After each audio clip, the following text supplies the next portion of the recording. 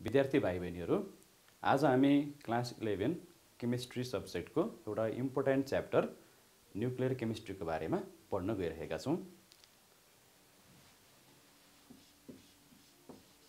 Nuclear chemistry.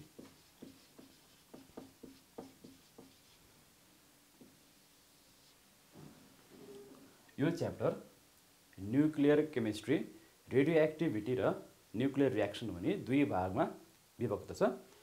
म भाइ बहिनीहरूलाई सर्वप्रथम रेडियो एक्टिभिटीको बारेमा केही कुरा बताउँछु। त्यसपछि हामी न्युक्लियर रियाक्सनको बारेमा चर्चा गर्नेछौँ। रेडियो एक्टिभिटीको बारेमा चर्चा गर्नुभन्दा अगाडि हामीलाई केही टर्म्सहरूको बारेमा फ्यामिलियराइज हुन तिनीहरूसँग परिचित हुन जरुरी छ ती टर्म्सहरू म लेख्न गइरहेको छु।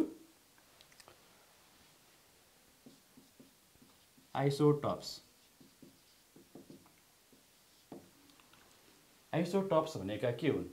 आइसोटप्स भाग atoms having same atomic number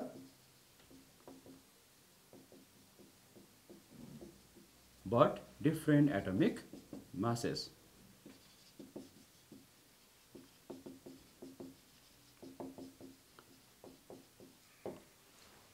एवटे atomic number भैया तर फरक फरक एटमिक मास भएको एटम्सहरूलाई हामी आइसोटोप्स भन्छौँ।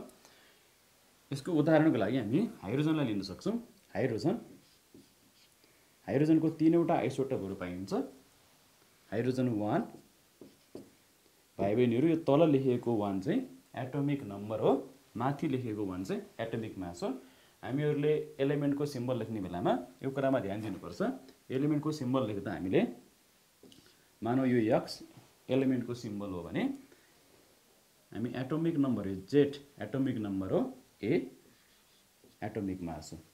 एटोमिक नम्बर भन्नाले सामान्यतः हामी नम्बर अफ प्रोटोनलाई बुझ्छौँ। नम्बर अफ प्रोटोन हो यो। नम्बर अफ प्रोटोन्स पी र एटोमिक मास चाहिँ number of proton plus number of neutron P plus N जस्तो एउटा उदाहरणको लागि मैले क्याल्सियम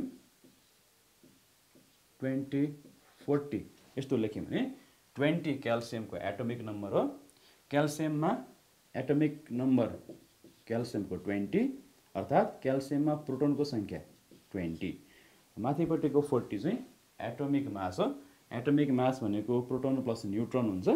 त्यस कारण हामीले यहाँ लेख्न सक्छौँ एटोमिक मास बराबर फोर्टी न्युट्रोन प्लस प्रोटोन बराबर फोर्टी प्रोटोन ट्वेन्टी हो भने न्युट्रोन अब ट्वेन्टी हो। यसरी हामीले एलिमेन्टमा यो तलमाथि यो सुपर स्क्रिप्ट र सब स्क्रिप्ट हामीले हेर्न सक्छौँ। माथिपट्टिकोले एटोमिक मास र तलकोले एटोमिक नम्बर जनाउँछ। आइसोटप्स लेख्दाखेरि हामीले यो नलेख्दा पनि हुन्छ किनभने आइसोटप्स भनेको एउटै एलिमेन्टको हुन्छ र एउटै एलिमेन्टको लागि एउटै एटोमिक नम्बर हुन्छ।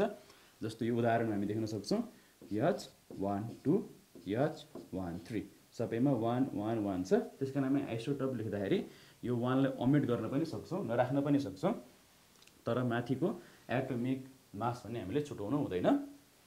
यो तिनवटा हाइड्रोजनका आइसोटपहरू हुन् किनभने atomic number same atomic mass different. यसलाई अब हामी यसलाई हामी प्रोटियम भन्छौँ। प्रोटियम यो आइसोटपको नाम।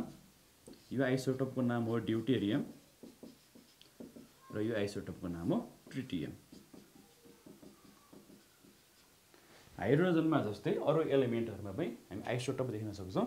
जस्तो उदाहरणको लागि कार्बन टुवेल्भ। अब मैले यहाँनिर सिक्स नलेख्दा पनि हुन्छ किन आइसोटपमा एटोमिक नम्बर सेम हुन्छन्?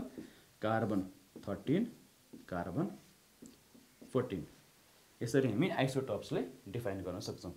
यस पछाडि हामीले अर्को टर्म पनि बुझ्नुपर्छ त्यो हो isobars isobars isobars आइसोटपको ठिक अपोजिट हो। आइसोटप्स भनेको same atomic number different atomic mass हो भने आइसोबार चाहिँ same atomic mass but different atomic number ठिक उल्टो। Same atomic mass different atomic number जस्तो म एउटा उदाहरण यहाँ दिन गइरहेको छु।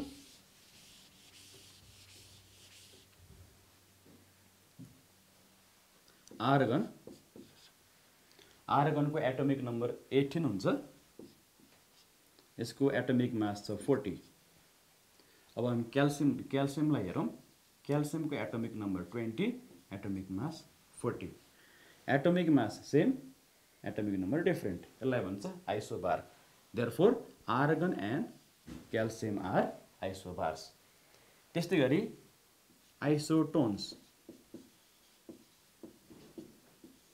आइसोटोन्स भनेको atoms having same number of number of neutrons न्युट्रोनको number बराबर but different number of protons different number of protons अथवा डिफ्रेन्ट एटमिक नम्बर्स एउटा सिम्पल इक्जाम्पल म दिन गइरहेको छु जस्तो पोटासियम र क्याल्सियम। पोटासियमको एटमिक नम्बर नाइन्टिन हुन्छ क्याल्सियमको ट्वेन्टी हुन्छ। यो हामी सबैलाई थाहा छ। पोटासियमको एटमिक मास थर्टी नाइन र क्याल्सियमको एटमिक मास फोर्टी। अब मैले भर्खरै बताएको थिएँ यो एटमिक नम्बर भनेको नम्बर अफ प्रोटोन हो। भनेपछि पोटासियमको proton P nineteen क्याल्सियमको proton P twenty. Proton different छ। Different number of protons. अब हामी नम्बर अफ न्युट्रोन्स हेरौँ।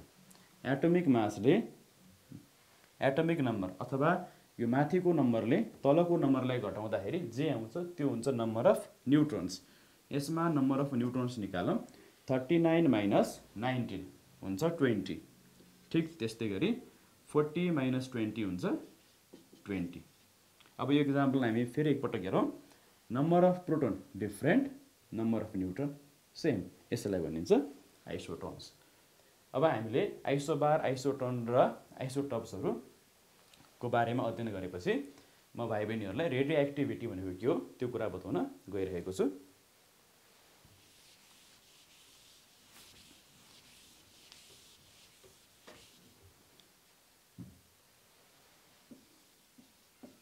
Radio activity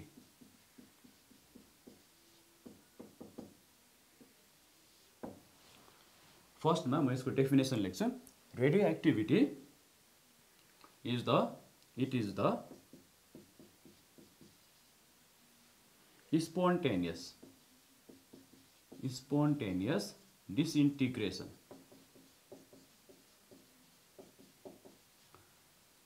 of unstable nuclei accompanied by emission of?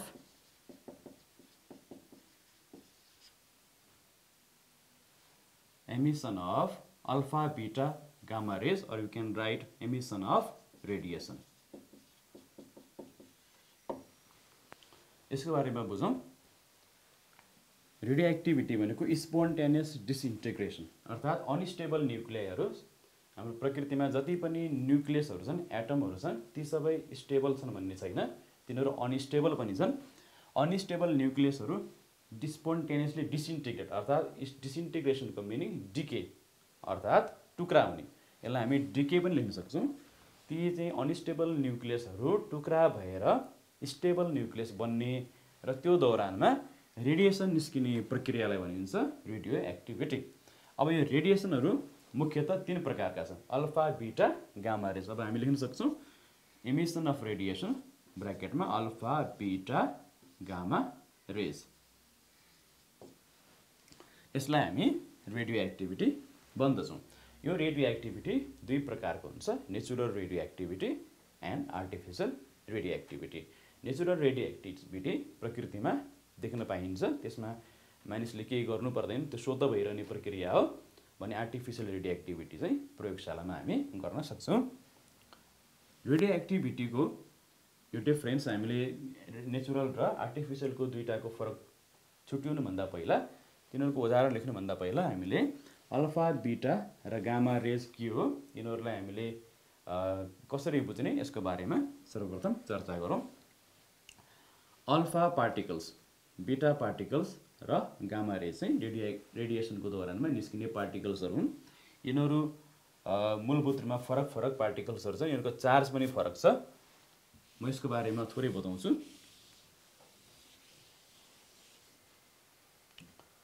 Alpha particles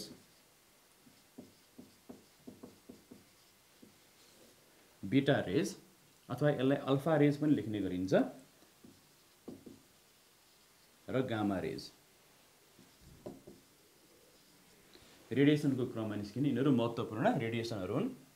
सबैभन्दा पहिला अल्फा पार्टिकल। अल्फा पार्टिकल भनेको के हो? अल्फा पार्टिकल भन्नाले डबल्ली आयनाइज हिलियम एटम्सलाई बुझिन्छ।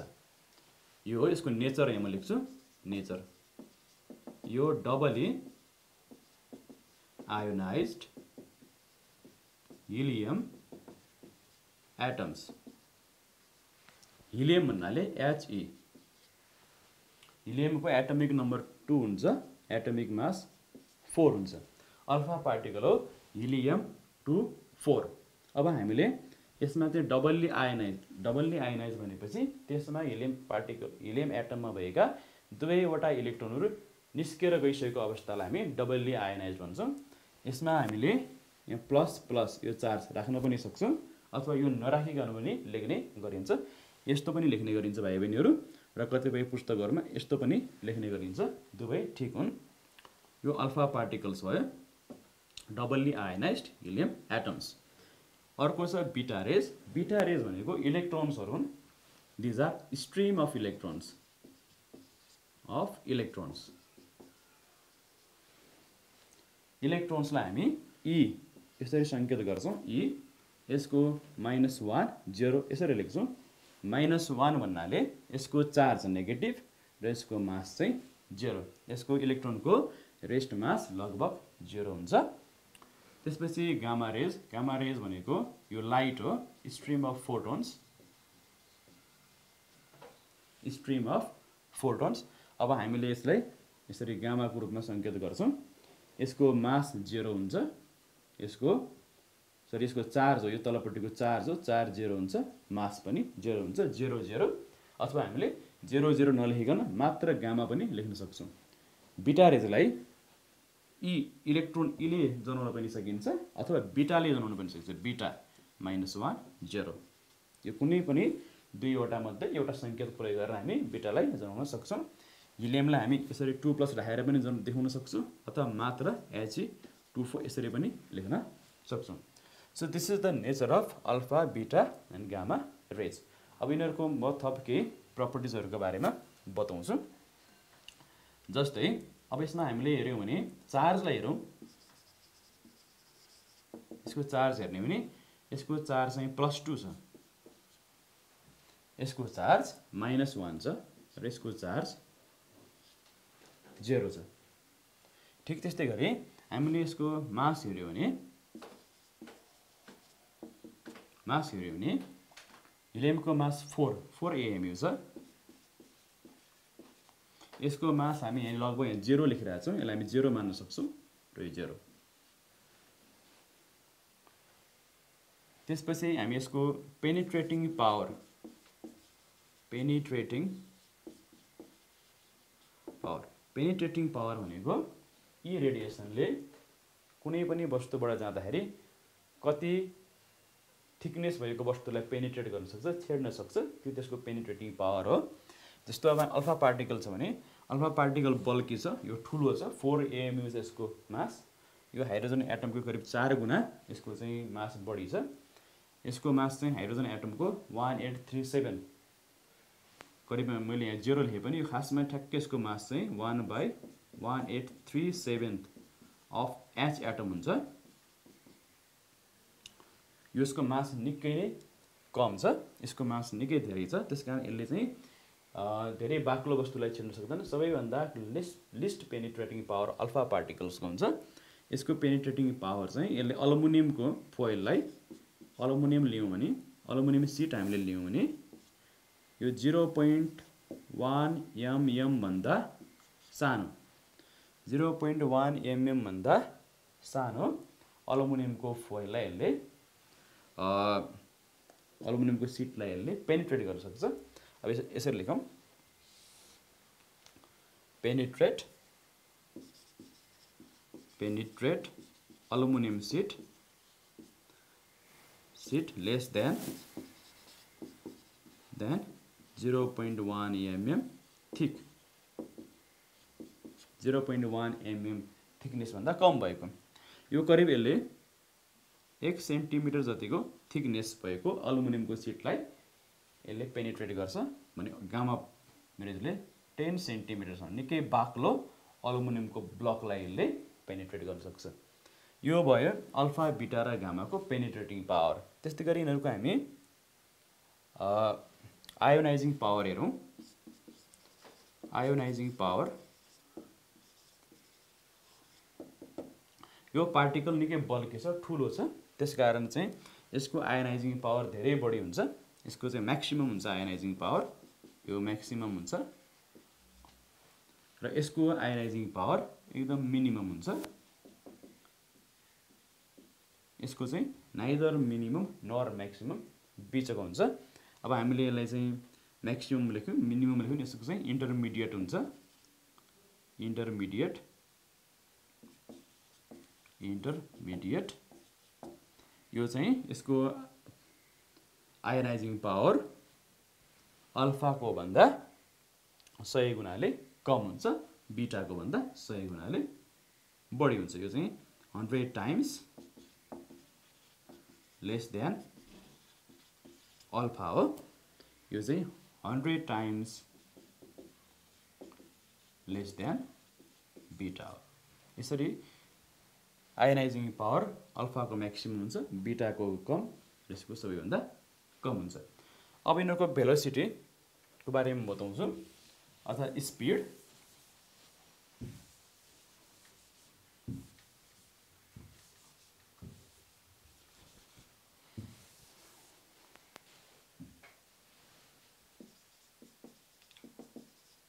भेलोसिटी हेर्ने हो भने यो गामा रेसको भेलोसिटी सबैभन्दा बढी हुन्छ। यो लाइट हो यो चाहिँ यसको भेलोसिटी हुन्छ। स्पिड अफ लाइट यसको स्पिड हुन्छ।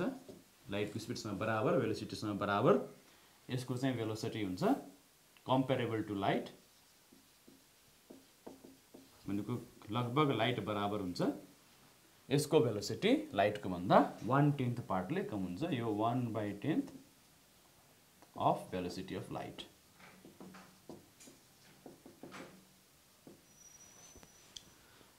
यसरी हामी अल्फा बिटा गामा रेजको एक प्रकारको कम्पेरिटिभ स्टडी गर्न सक्छौँ। अब हामीले बेसिकल्ली अल्फा पार्टिकल्सको सिम्बल चिन्नु पऱ्यो। यसलाई हिलियम एटमले जनाइन्छ। चार्ज यसको टू छ मास फोर यसलाई इलेक्ट्रोनले जनाइन्छ अथवा बिटा लेख्न पनि सकिन्छ। यसको charge minus one mass zero यसको both charge and mass zero छ। यो पोजिटिभ छ यो नेगेटिभ छ र यो न्युट्रल छ।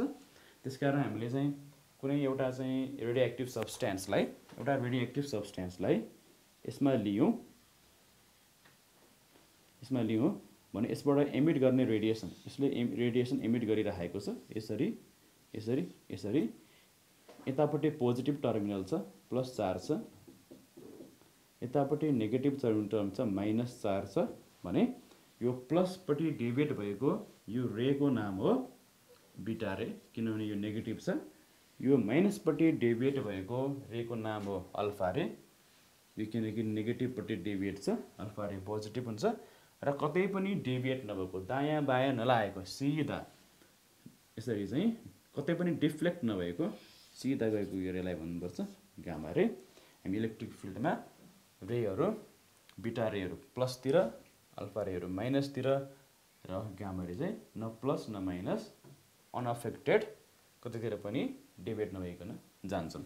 यो चाहिँ रेडियो एक्टिभ सब्सटेन्स अब यस पछाडि म रेडियो एक्टिभिटीको अहिलेको डेफिनेसनमा फेरि फर्कन चाहन्छु।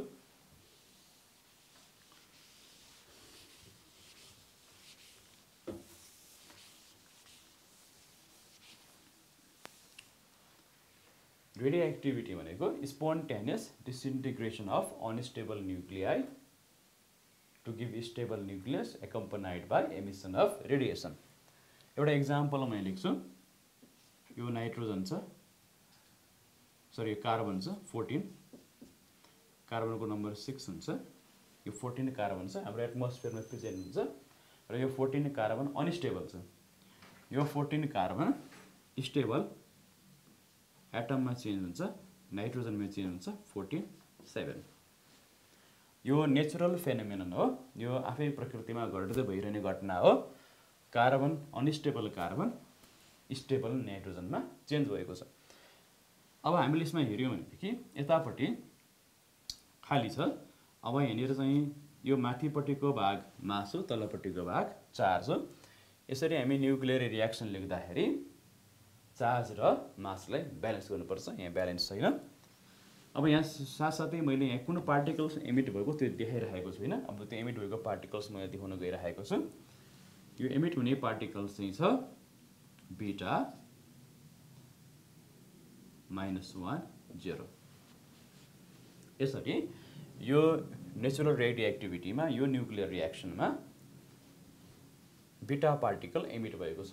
अब हामीले यहाँनिर हेऱ्यौँ भने रियाक्ट यतापट्टिको साइडमा लेफ्ट ह्यान्ड साइडमा यसलाई हामी रियाक्टिन भनेर बुझौँ एकछिनलाई। यो रियाक्टिनपट्टि फोर्टिन छ। यतापट्टि फोर्टिन प्लस जेरो फोर्टिन भयो। अर्थात् एटोमिक मासहरू बराबर भयो। चार्जको कुरा रह्यो कार्बनमा चार्ज सिक्स छ नाइट्रोजनको चार्ज सेभेन माइनस वान अब कति हुन गयो? सिक्स हुन गयो। अर्थात् हामी न्युक्लियर रियाक्सन गर्ने बेलामा चार्जहरू र मासहरू कन्जर्भ छ कि छैन भन्ने कुरा हामीले याद गर्नुपर्छ। यो मैले जुन example लेखेँ this is the example of natural radioactivity natural radioactivity. त्यस्तै नेचुरल रेडियो एक्टिभिटीको अरू इक्जाम्पलहरू पनि लेख्न सकिन्छ। Uranium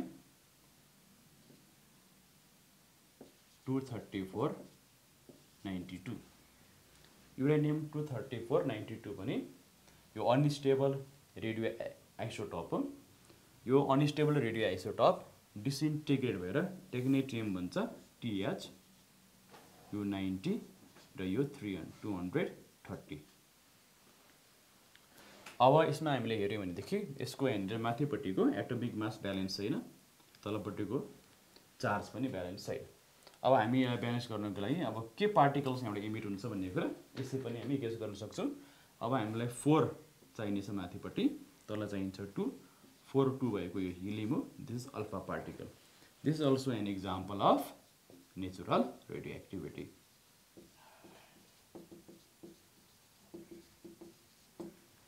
So radioactivity that occurs in nature is natural radioactivity. अर्को हुन्छ artificial radioactivity artificial radioactivity यसमा चाहिँ हामी एउटा स्टेबल न्युक्लियसलाई हाई एनर्जी पार्टिकल स्ट्राइक गर्छौँ बम्बार्ड गर्छौँ र बम्बार्डमेन्टको परिणामस्वरूप त्यसमा अरू पार्टिकल्सहरू र रेडिएसन्सहरू एमिट हुन्छ त्यसलाई हामी आर्टिफिसियल रेडियो एक्टिभिटी भन्छौँ। In this process artificial radioactivity is the process it is the process in which stable nuclei is bombarded with high energy particle particle which results in in disintegration of of nuclei accompanied by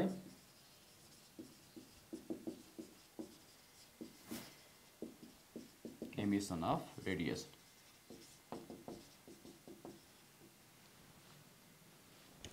accompanied by emission of radiation यसलाई भन्छौँ हामी artificial radioactivity जस्तो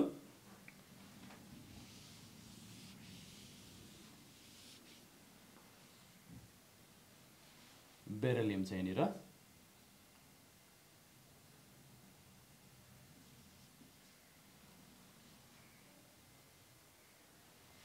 यो four यो nine छ। बेरेलियमलाई अब हामीले अल्फा पार्टिकल स्ट्राइक गरौँ। अल्फा पार्टिकल भनेको हिलियम टू फोर। अब बेरेलियमलाई हिलियम अर्थात् अल्फा पार्टिकल स्ट्राइक गरिसके पछाडि अब यो बेरलियम यो ब्रेक हुन्छ डिसइन्टिग्रेट हुन्छ र बेरलियमबाट कार्बन बन्छ यो चेन्ज हुन्छ यहाँनिर कार्बन भयो सिक्स टुवेल्भ अब यसमा हेरौँ। माथिपट्टिको नाइन प्लस फोर थर्टिन छ यहाँ टुवेल्भ छ वान चाहियो हामीलाई। फोर प्लस टू सिक्स छ सिक्स जेरो चाहियो हामीलाई। चार जेरो र मास वान भएको पार्टिकल के हुनसक्छ? It is neutron. यो भयो example of artificial radioactivity example of artificial radioactivity यसरी हामीले एउटा बेरलियम एटमलाई स्ट्राइक गरेर त्यसलाई बम्बार्ड गरेर नयाँ एलिमेन्ट बनायौँ। एउटा एलिमेन्टबाट अर्को एलिमेन्ट बनाउने प्रक्रियालाई भन्छ transmutation since we carried out this transmutation process artificially this is called artificial transmutation यो के पनि हो त? आर्टिफिसियल फिसियल ट्रान्सम्युटेसन हो। नेचरमा जम्मा नाइन्टी टूवटा एलिमेन्ट्सहरू छन्। तर अहिले हामीले पिरियडिक टेबलमा हेर्ने हो भने अहिले पिरियडिक टेबलहरूमा वान हन्ड्रेड एटिनसम्म एलिमेन्ट्स भएको पिरियडिक टेबलहरू हामीले पाउँछौँ। अर्थात् अहिले वान हन्ड्रेड एटिनवटा एलिमेन्ट्सहरू आविष्कार भइसकेका छन् त्यसमा नाइन्टी टूवटा एलिमेन्ट्सहरू नेचुरल हुन् भने बाँकी सबै एलिमेन्ट्सहरू चाहिँ आर्टिफिसियल हुन् र ती सबै आर्टिफिसियल एलिमेन्ट्सहरू यस्तै आर्टिफिसियल ट्रान्सम्युटेसनद्वारा बनाइएका हुन् त्यसकारण युरेनियम नाइन्टी टू नम्बरको युरेनियम पछाडिको जति पनि एलिमेन्ट्सहरू छ जसलाई हामी ट्रान्स युरेनियम एलिमेन्ट्स भन्छौँ all those transuranium elements they are artificially transmuted elements अब हामी यो रियाक्सनलाई अब अलिकति मिलाएर लेखौँ। यसलाई अब रिप्रेजेन्टेसन गर्ने विभिन्न तरिकाहरू छ। यो एउटा रिप्रेजेन्टेसनको तरिका यस्तो एउटा यो पनि छ भने अझ यसलाई रिप्रेजेन्ट गर्ने एउटा सर्ट ह्यान्ड नोटेसनद्वारा रिप्रेजेन्ट पनि गर्न सकिन्छ। जसलाई हामी बेथेज नोटेसन भन्छौँ। बेथेज नोटेसन के हो?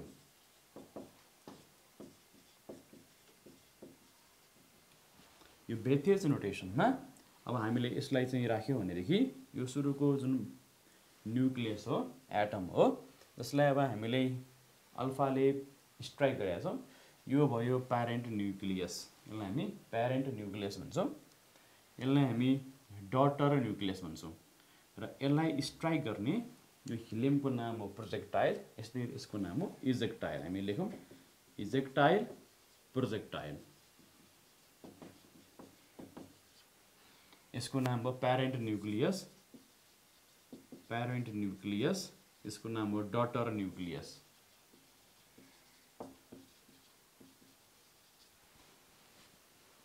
अब हामी बेतेज नोटेसन लेख्ने बेलामा प्यारेन्ट न्युक्लियस पहिला लेख्छौँ। बिई नाइन बेरलेम भएपछि फोर लेखिरहनु परेन। बेरलेम इज अलवेज फोर त्यसपछि प्रोजेक्टाइल हाम्रो अल्फा छ। इलियम पार्टिकल्स भनेको अल्फा पार्टिकल छ। अल्फा हामीसँग इजेक्टाइल निस्केको चाहिँ न्युट्रोन हो यन र हाम्रो प्रडक्ट अर्थात् डटर न्युक्लियस हो कार्बन यसरी हामीले लेख्यौँ भने यसलाई भन्छ Bethe's notation shorthand notation for writing nuclear reaction त्यस्तै गरी अरू न्युक्लियर रियाक्सनहरू पनि हामी लेख्न सक्छौँ। बेथेज नोटेसनद्वारा जस्तो एउटा रियाक्सन लेखौँ यहाँ नाइट्रोजन छ। नाइट्रोजनमा हामी यसमा हिलियमले यसलाई स्ट्राइक गरौँ। हिलियम। Seven fourteen. हिलियम भनेको अल्फा पार्टिकल हो। स्ट्राइक गऱ्यो भने यहाँ बन्छ अक्सिजन। अक्सिजन एट हुन्छ सिक्सटिन हुन्छ।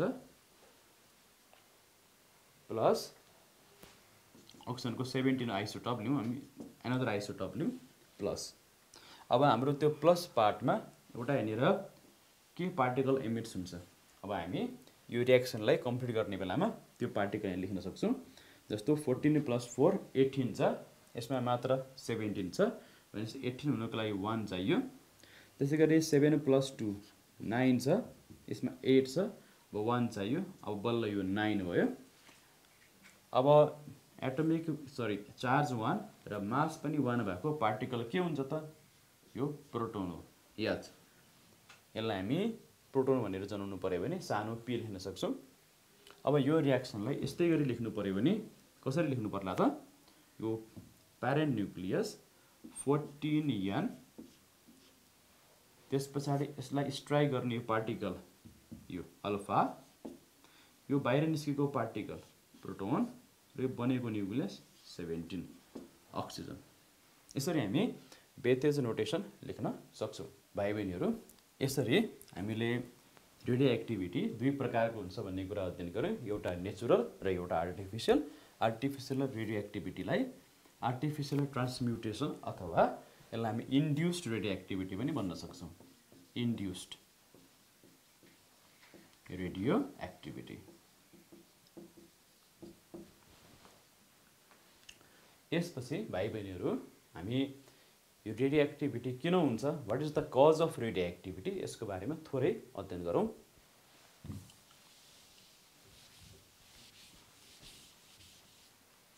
Cause of radio activity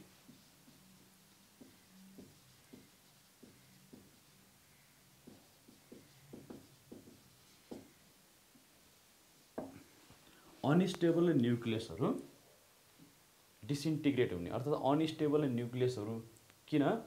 radio active हुन्छन्। अनस्टेबल न्युक्लियसहरूको रेडियो एक्टिभिटीको कारण के हो? यसलाई हामी स्ट्याबिलिटी रेसियोबाट एक्सप्लेन गर्न सक्छौँ। स्ट्याबिलिटी अथवा न्युक्लियर स्ट्याबिलिटी रेसियो पनि भन्न सकिन्छ। न्युक्लियर स्ट्याबिलिटी रेसियो यसलाई एन बाई पी रेसियो पनि भनिन्छ। N by P ratio N by P रेसियोको पुरानो रूप हो न्युट्रोन अपन प्रोटोन रेसियो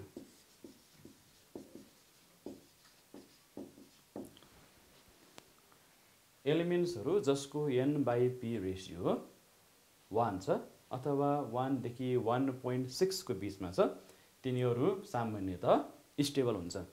र वान पोइन्ट सिक्सभन्दा माथि stay N by P ratio भएका एलिमेन्ट्सहरू अनस्टेबल हुन्छन् एउटा सिम्पल उदाहरण लिउँ। एन बाई पी रेसियो कसरी निकाल्ने? यो क्याल्सियम छ सिए क्याल्सियममा हामी हेऱ्यौँ भनेदेखि यहाँ ट्वेन्टी छ यहाँ फोर्टी छ। क्याल्सियमको प्रोटोनको सङ्ख्या P is equal to twenty छ र क्याल्सियमको न्युट्रोनको सङ्ख्या चाहिँ फोर्टी माइनस ट्वेन्टी गर्नु पऱ्यो यो हुन्छ ट्वेन्टी। अब क्याल्सियमको एन बाई पी रेसियो हुन्छ।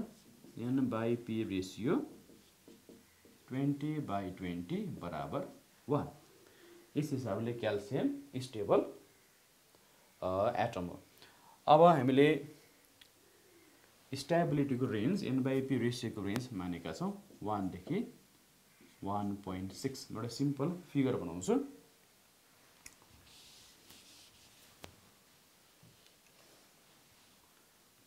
यो माथिपट्टिको भागमा वाइ एक्सिसमा नम्बर अफ न्युट्रोन्स छ। र यो नम्बर अफ प्रोटोन्स छ। अब नम्बर अफ न्युट्रोन्स र नम्बर अफ प्रोटोन्स बराबर भएमा एउटा स्ट्रेट लाइन यहाँबाट जान्छ पासिङ थ्रु ओरिजन यो स्ट्रेट लाइनमा पर्ने एलिमेन्ट्सहरू तिनीहरू सबै स्टेबल हुन्छन् र यो यो स्ट्रेट लाइनभन्दा अलिकति माथि वान पोइन्ट सिक्स यहाँनिर पर्ने एलिमेन्ट्सहरू पनि स्टेबल हुन्छ। यो हो stability zone. Stability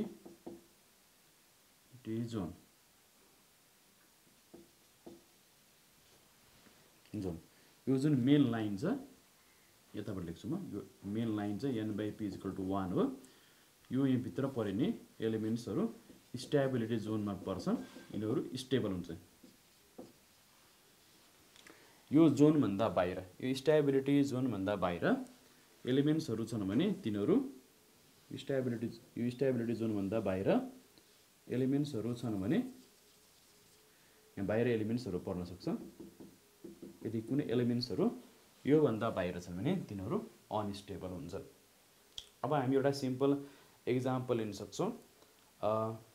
Uranium two thirty eight by ninety two two thirty eight by ninety two यसको हामीले एन बाई पी रेसियो निकालौँ। यसमा पी चाहिँ छ नाइन्टी टू एन हुन्छ two thirty eight minus ninety two यो हुन आउँछ युरानियमको अब न्यु न्युट्रोन भयो two thirty eight minus ninety two one forty six अब हामीले एन बाई पी रेसियो निकाल्यौँ भने यो हुन जान्छ one forty six by ninety two यो लगभग वान पोइन्ट सिक्स हुन आउँछ यो लगभग बोर्डर लाइनमा छ। वान पोइन्ट सिक्सभन्दा मुनि। यो वान पोइन्ट वानदेखि वान पोइन्ट सिक्सभित्र यो परेको भएदेखि यो एलिमेन्ट स्टेबल हुन्थ्यो तर यो वान पोइन्ट सिक्स बोर्डर लाइनमै छ यो अनस्टेबल छ। कतिपय पुस्तकहरूमा यो वान पोइन्ट सिक्सको सट्टा भ्यालु वानदेखि वान पोइन्ट फाइभ मात्रै पनि लेखिएको हामी पाउँछौँ। जे होस् वान पोइन्ट फाइभ वा वान पोइन्ट सिक्स यो बोर्डर लाइनबाट हामी माथि गइसके पछाडि एन बाई पी रेसियो त्यो वान पोइन्ट सिक्सभन्दा माथि एक्सिड गर्यो अथवा वान पोइन्ट सिक्स छ भने त्यो अवस्थामा त्यो एटम्सहरू अनस्टेबल हुन्छन्। यो भनेको यो माथिपट्टिको यो जोन हो यो। This is this is unstable unstable zone unstable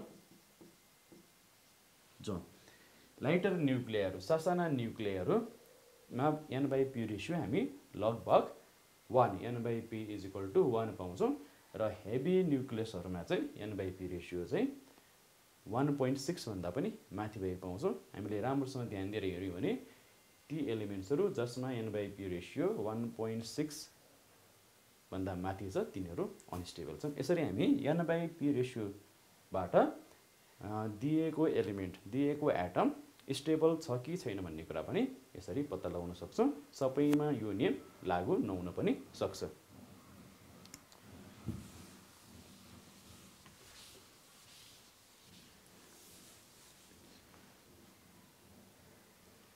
अब भाइ बहिनीहरू म रेडियो एक्टिभिटीको युनिट्सको बारेमा कुरा गर्न गइरहेको छु। Units of radio activity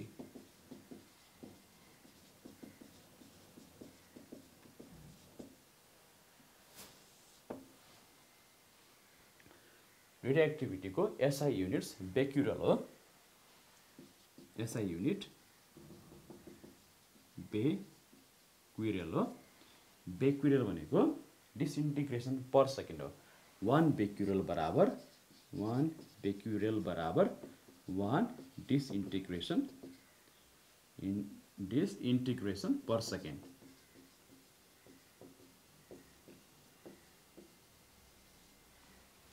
one DPS छोटकरीमा हामी यसलाई लेख्न सक्छौँ। वान डिपिएस अर्थात् एक सेकेन्डमा एउटा एटम डिसइन्टिग्रेट हुँदा त्यसको युनिट हुन्छ वान बेक्युरियल। अब हामीसँग एउटा चाहिँ थोरै रेडियो एक्टिभ स्याम्पल छ। यो रेडियो एक्टिभ स्याम्पलको चाहिँ एक पटकमा दस लाखवटा एटम डिसइन्टिग्रेट हुन्छ एक सेकेन्डमा भने त्यसको रेडियो एक्टिभिटी भयो टेन लाख डिपिएस एक सेकेन्डमा टेन लाख। यसरी हामी डिसइन्टिग्रेसन पर सेकेन्ड एक सेकेन्डमा कतिवटा एटम डिसइन्टिग्रेट हुन्छ? त्यसलाई डिपिएस भन्छ। त्यो वान डिपिएस चाहिँ वान बेक्युरियल हुन्छ। This is unit of radioactivity यसबाहेक यसको अरू युनिट्सहरू पनि छन्। जस्तो क्युरी यसको अरू युनिट अदर युनिट्स क्युरी छ। One curie. वान क्युरी बराबर three point seven into ten to the power seven DPS यो three point seven into ten to the power seven DPS one gram रेडिएसनको रेडियमको one gram radium radium radioactive substance हो त्यसको डिसइन्टिग्रेसनको value हो one curie बराबर three point seven into ten to the power seven DPS यो बाहेक अर्को पनि छ वान रदरफोर्ड अर्को युनिट छ one Rutherford one Rutherford is ten to the power six DPS यसरी हामी रेडियो एक्टिभिटीलाई डिफ्रेन्ट युनिट्सहरूमा एक्सप्रेस गर्न सक्छौँ यसको मेन युनिट्सहरू छ एसआई युनिट बेक्युरल त्यस्तै गरी क्युरी र रदरफोर्ड पनि। Rutherford FORD this is FORD okay यो रदर फोर्ड पनि रेडियो एक्टिभिटीको अरू पपुलर युनिट्सहरू हुन्। यसरी हामीले रेडियो एक्टिभिटीको बारेमा चर्चा गऱ्यौँ। अब हामी न्युक्लियर रियाक्सनको बारेमा चर्चा गर्नेछौँ।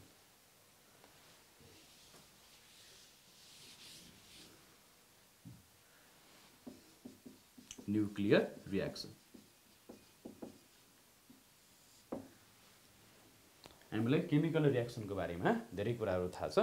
केमिकल रियाक्सन र न्युक्लियर रियाक्सनमा केही फरक छ। न्युक्लियर रियाक्सन भन्ने बित्तिकै यो न्युक्लियसमा हुने प्रोसेस हो। केमिकल रियाक्सन चाहिँ न्युक्लियसभन्दा बाहिर सेलहरूमा अर्थात् इलेक्ट्रोन्सको इलेक्ट्रोन्सको इन्टरप्ले इलेक्ट्रोन्सहरू सेयर हुने इलेक्ट्रोन्सहरू लस हुने इलेक्ट्रोनहरू गेन हुने प्रोसेस चाहिँ केमिकल रियाक्सन हो भने न्युक्लियसहरू ब्रेक हुने अथवा न्युक्लियसहरू फ्युजन हुने न्युक्लियसहरू जोड्ने प्रोसेस चाहिँ न्युक्लियर रियाक्सन हो न्युक्लियर रियाक्सन र केमिकल रियाक्सनमा केही फरकहरू छन् म एक दुईवटा फरकहरू बताउन गइरहेको छु पहिला यहाँ केमिकल रियाक्सन र अर्को nuclear reaction nuclear reaction chemical रियाक्सनमा electrons are involve electrons are involve in chemical reaction इलेक्ट्रोन्सको सट्टामा न्युक्लियस आर इन्भल्भ न्युक्लियाई भन्नु पऱ्यो न्युक्लियर इन्भल्भ जस्तो कि केमिकल रियाक्सनमा इलेक्ट्रोन ट्रान्सफर हुनसक्छ इलेक्ट्रोन गेन हुनसक्छ लस हुनसक्छ इलेक्ट्रोन सेयर हुनसक्छ न्युक्लियसमा इलेक्ट्रोन न्युक्लियरमा इलेक् न्युक्लियरहरू न्युक्लियसहरू न्युक्लियाईहरू जोडिन अथवा ब्रेक हुन सक्छन्। त्यस्तै गरी केमिकल रियाक्सनमा लाई चाहिँ temperature pressure and catalyst affect reaction. Temperature बढाउँदा घटाउँदा प्रेसर बढाउँदा घटाउँदा क्याटलिस्ट प्रयोग गर्दा नगर्दा रियाक्सनमा त्यसले फरक पार्छ भने यस्तो चिजहरूले न्युक्लियर रियाक्सनमा केही पनि फरक पार्दैन। सामान्य टेम्परेचर वा प्रेसर वा क्याटालिस्टको प्रयोगको यसमा कुनै असर हुँदैन। No effect of no effect of temperature pressure and catalyst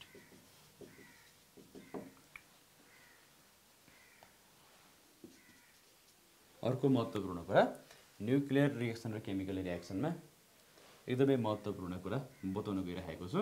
nuclear रियाक्सनमा law of conservation of mass valid हुँदैन। Conservation of mass is not valid यसमा चाहिँ law of conservation of mass mass is valid law of conservation of mass valid भन्नुको अर्थ mass of reactants mass of reactants चाहिँ mass of प्रोडक्टसँग बराबर हुन्छ। Mass of प्रोडक्टसँग बराबर हुन्छ। तर न्युक्लियर रियाक्सनमा मास अफ रियाक्टेन्स र मास अफ प्रोडक्ट्स बराबर हुँदैन। यसमा mass of products products less than mass of reactants प्रोडक्ट्सको मास जहिले पनि रियाक्टेन्टको मासभन्दा कम हुन्छ। त्यसरी कम हुन गएको मासलाई हामी मास डिफेक्ट अथवा डेल्टा एम भन्छौँ। र यो मास कहाँ हराउँछ भन्दा यो मास चाहिँ एनर्जीमा कन्भर्ट हुन्छ। डेल्टा एम सी स्क्वायर बराबर एनर्जी यो आइन्स्टाइनको फेमस रिलेसन हो। Is equal to M C square एउटा महत्त्वपूर्ण फरक हो यो। अब हामीले अरू चिजहरू पनि हेर्न सक्छौँ केमिकल र न्युक्लियर रियाक्सनको फरकमा जस्तो कि केमिकल रियाक्सनमा केमिकल रियाक्सनहरू कतिपय एक्जोथर्मिक छन् तर केमिकल एक्जोथर्मिक केमिकल रियाक्सनमा लिबरेट हुने एनर्जी र न्युक्लियर रियाक्सनमा लिबरेट हुने एनर्जीको हामीले चाहिँ तुलना गऱ्यो भने nuclear रियाक्सनमा far more energy is liberated अब हामी त्यो लेख्न पनि सक्छौँ यहाँ। अर्को पोइन्ट एनर्जी एनर्जी इभल्भ अथवा release is less than in nuclear reaction than a nuclear reaction. Energy released or evolved is tremendously high. High than in chemical reaction.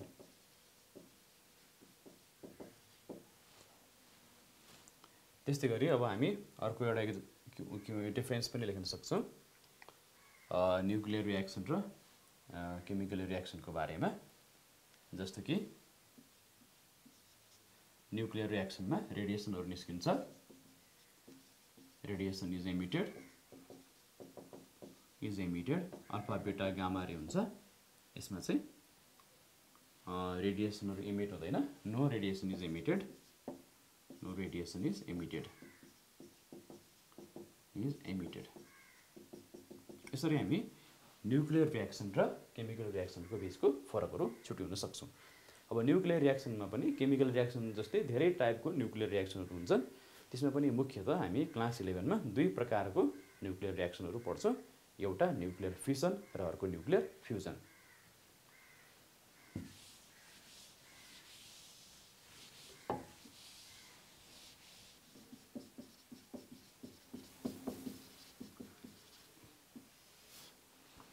nuclear fusion nuclear फ्युजनको ठिक अपोजिट हो। यसमा एटम्सहरू brake हुने होइन। एटम्सहरू combine हुने गर्छन्। It is the adding of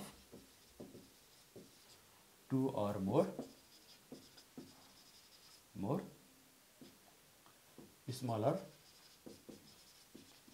nuclei to produce a big nucleus. Nucleus. यो reaction हुनको लागि धेरै नै टेम्परेचर र प्रेसर चाहिन्छ। Very high temperature tremendously high धेरै नै tremendously high temperature and pressure is required यो टेम्परेचर र प्रेसर चाहिँ ल्याबमा क्रिएट गर्न निकै गाह्रो हुन्छ। यो टेम्परेचर र प्रेसर चाहिँ सनको टेम्परेचर र प्रेसरसँग सनको सर्फेसको टेम्परेचर र प्रेसरसँग यो कम्पेरेबल हुन्छ। यो टेम्परेचर प्रेसर चाहिँ comparable to comparable to sun सनको temperature करिब ten to the power seven क्यालभिनको हुन्छ। करिब ten to the power seven kelvin र सनको सर्फेसको प्रेसर बराबरको सर सनको प्रेसर बराबरको प्रेसर भएमा मात्रै हामी न्युक्लियर फ्युजन गर्न सक्छौँ। अब यो न्युक्लियर फ्युजनमा पनि न्युक्लियरमा फ्युजनमा जस्तै tremendously tremendously high energy is release धेरै नै एनर्जी यसमा निस्किन्छ। अब हामीले न्युक्लियर फ्युजनको इक्जाम्पल लेख्नु पर्दाखेरि हामी सनमा हुने न्युक्लियर फ्युजनको इक्जाम्पल लिन सक्छौँ। सनको एनर्जी सोलार इन्डिज जसलाई हामी भन्छौँ त्यो वास्तवमा न्युक्लियर फ्युजनबाट प्राप्त भएकै एनर्जी हो। सन भनेको एक प्रकारको हाइड्रोजनको गोला हो। त्यसमा हाइड्रोजन धेरै छ हाइड्रोजन ग्यासहरू छ। त्यसमा हाइड्रोजन हाइड्रोजन मिलेर हिलियम बन्ने काम हुन्छ। त्यो कसरी हुन्छ भने हामी यहाँ देखाउनु गइरहेको छौँ। हाइड्रोजन छ अर्को हाइड्रोजन छ। हाइड्रोजन हाइड्रोजन मिलेर ड्युटेरियम बन्यो। प्रोटियम प्रोटियम मिलेर ड्युटेरियम भयो। प्लस यहाँनिर अर्को योलाई पोजिट्रन भन्छौँ हामी। यहाँ हामी चाहिँ वान वान छ यसमा वान राखौँ। यहाँ जिरो छ। यो इलेक्ट्रोनको एन्टी पार्टिकल भयो यसलाई हामी पोजिट्रन भन्छौँ। यसलाई हामी बी प्लस लेखे पनि हुन्छ। बी प्लस यो पार्टिकल छ इलेक्ट्रोनको अपोजिट छ। यसलाई यसरी लेखे पनि हुन्छ अथवा हामी यसलाई अर्को तरिकाले नोटेसन लेख्नु मन लाग्यो भने यसरी पनि लेख्न सक्छौँ। U one zero is positron त्यस्तै गरी अब हामी यो ड्युटेरियम छ ड्युटेरियमलाई फेरि अर्को हाइड्रोजनसँग कम्बाइन गरेर हिलियम भनौँ। यहाँ चाहिँ वान टू छ यसलाई अर्को हाइड्रोजनसँग कम्बाइन गरौँ यहाँ चाहिँ वान वान अब यो भन्छ टू प्लस वान थ्री भयो. हिलियम टू भयो. यसमा गामा निस्क्यो ठिक त्यस्तै गरी। यो हिलियम छ HE three two plus HE three two गरौँ। यसलाई मिलायो भने चाहिँ फोर टू हुने भयो। प्लस टू वान वान भयो। थ्री थ्री सिक्स हुन्छ। फोर भयो। Two into one two plus four six. Two two four two plus two four. यसरी हामीले रियाक्सन लेख्न सक्छौँ। मैले धेरैवटा स्टेपहरू लेखेँ। अब यसलाई हामी कम्बाइन गरेर लेखौँ। यसलाई इन्टु टू गरौँ। यसलाई पनि इन्टु टू गरौँ। यसलाई इन्टु टू यसलाई इन्टु टू गरे पछाडि यसलाई होइन यसलाई माथिकोलाई गरौँ इन्टु टू गरौँ। यसमा के हुन गयो यसमा अब हामीले हेऱ्यौँ भने दुईवटा प्रोटिन छ इन्टु टू गरेपछि चारवटा प्रोटिन भयो। त्यस पछाडि यो ड्युटेरियम दुईवटा छ यहाँ पनि ड्युटेरियम दुईवटा छ। ओभरअल रिएक्सनमा यो काटिने भयो। यो काटियो। त्यसबाहेक अरू काटिने हामीले हेऱ्यौँ भनेदेखि योले टूले मल्टिप्लाई गरेपछि यो पनि टू भयो। यो पनि योसँग काटिन जान्छ यिनीहरू काटिन गयो हट्न गयो। त्यस पछाडि बाँकी रहेको के छ? यहाँ चाहिँ टु वान याद छ। यहाँ वान याद छ। यो र यो पनि हामीले रिमुभ गर्न सक्छौँ। यो टूले मल्टिप्लाई गरेपछि। अब बाँकी रहन्छ यो प्रोटिन प्रोटिन प्रोटिन दुईवटा प्रोटिन इन्टु टू गर्दा चारवटा प्रोटिन भयो फोर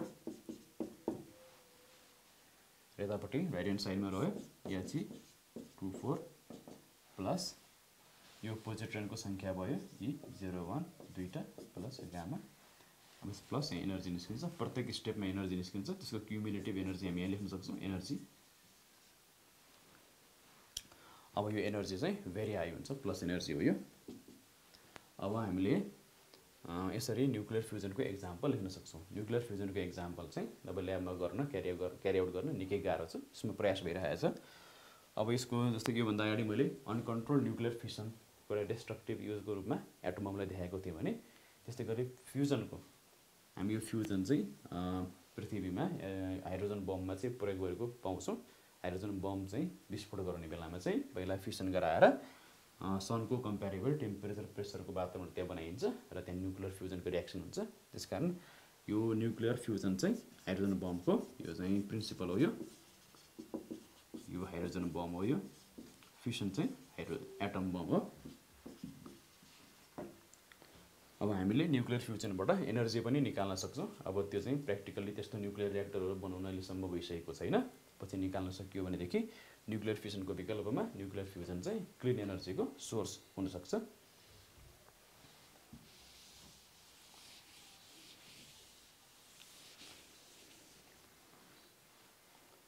भाइ बहिनीहरू अब हामी न्युक्लियर आइसोटप्सहरूको अथवा रेडियो आइसोटप्सहरूको केही युजेसको बारेमा चर्चा गरौँ।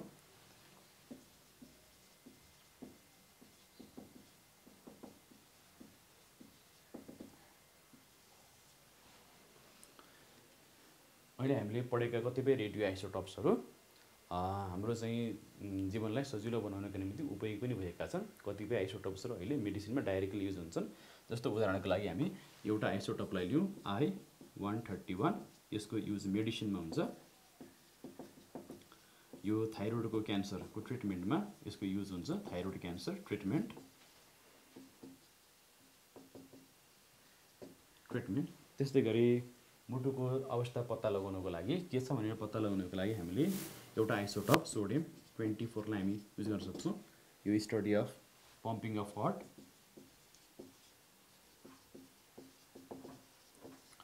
hot त्यस्तै गरी कोबाल्ट सिक्सटी कोबाल्ट सिक्सटी आइसोटपलाई हामी क्यान्सरको ट्रिटमेन्टमा प्रयोग गर्न सक्छौँ। Cancer treatment. क्यान्सरको ट्रिटमेन्ट भनेको क्यान्सरमा रेडियोथेरापी गरिन्छ। त्यो रेडियोथेरापीमा यस्तो खाले आइसोटपहरूले सेक्ने काम हुन्छ। यो मेडिसिनको यो एकदम इम्पोर्टेन्ट युज हो यो आजभोलि यो। त्यस पछाडि हामी केमिस्ट्रीमा यसको चाहिँ मेकानिजमहरू पत्ता लगाउनको लागि प्रयोग गर्न सक्छौँ। To identify identify reaction pathway or mechanism in chemistry. In chemistry. त्यसमा हामीले हाइड्रोजन अक्सिजन लगायतका एलिमेन्टहरूलाई आइसोटोपिक लेभलिङ गरेर हामी यो चाहिँ रियाक्सनको मेकानिजमहरू पत्ता लगाउने काम गर्छौँ। अर्को यसको राम्रो युज चाहिँ दुइटा आइसोटोपको हामीले कार्बन डेटिङको बारेमा सुनेका हौँ। कार्बन डेटिङ कार्बन डेटिङ अथवा यसलाई कार्बन फोर्टिन डेटिन पनि हुन्छ कार्बन फोर्टिन डेटिन। यसमा हामी कार्बन फोर्टिन आइसोटपको प्रयोगद्वारा हामी कुनै पनि प्रि प्रि हिस्टोरिक अर्थात् चाहिँ पौराणिक वस्तुहरूको पुराना वस्तुहरूको ऐतिहासिक वस्तुहरूको आयु पत्ता लगाउन सक्छौँ। कुनै काठ अथवा चाहिँ कुनै हामीले चाहिँ कुनै वस्तु हार्ड अथवा चाहिँ त्यस्तै कुनै फोसिल्स भन्छ जसलाई हामी फोसिल्स अथवा त्यस्तै काठहरू हामीले पायौँ अथवा कुनै चाहिँ पर ऐतिहासिक वस्तु पायौँ भने त्यसको चाहिँ आयु कति हो भन्ने कुरा पत्ता लगाउनुको लागि हामी कार्बन फोर्टिन डेटिङ गर्छौँ। त्यस्तै गरी रकहरूको आयु के भन्छ आयु पत्ता लगाउनुको लागि हामी कार्बन फोर्टिनको सट्टामा युरेनियमको आइसोटोप चाहिँ हामी त्यहाँ उपयोगमा लिएर आउँछौँ। युरेनियमको आइसोटोपहरू हामी प्रयोग गरेर रकहरूको एज एस्टिमेट गर्न सक्छौँ। त्यसमा हामी युरेनियमको टु थर्टी एट आइसोटोप प्रयोग गर्छौँ। यो चाहिँ age of age of prehistoric prehistoric articles पत्ता लगाउन सक्छौँ। अर्को चाहिँ युरेनियम टु थर्टी एट प्रयोग गरेर एज अफ रक्स पुरानो चट्टानहरूको आयु कति पुरानो छ भन्ने कुरा हामी पत्ता लगाउन सक्छौँ।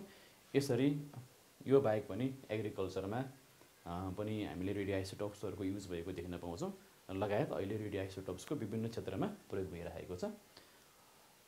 यसरी भाइ बहिनीहरू आज हामीले न्युक्लियर केमिस्ट्री अन्तर्गत रेडियो एक्टिभिटी र न्युक्लियर रियाक्सनको बारेमा चर्चा गऱ्यौँ। यो सँगसँगै यो च्याप्टर समाप्त हुन्छ। Thank you.